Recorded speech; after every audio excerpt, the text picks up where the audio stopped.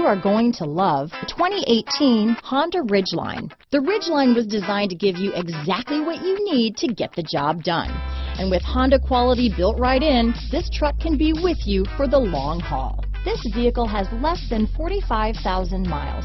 Here are some of this vehicle's great options.